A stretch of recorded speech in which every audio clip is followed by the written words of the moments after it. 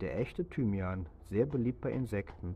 Er lässt sich gut auf Terrassen in Töpfen oder Balkonen halten, kann aber auch in die Erde ausgetopft werden. Er ist winterhart, kommt mit wenig Wasser aus und verträgt natürlich einmal pro Woche einen Biodünger, damit er so prächtig blüht wie dieser.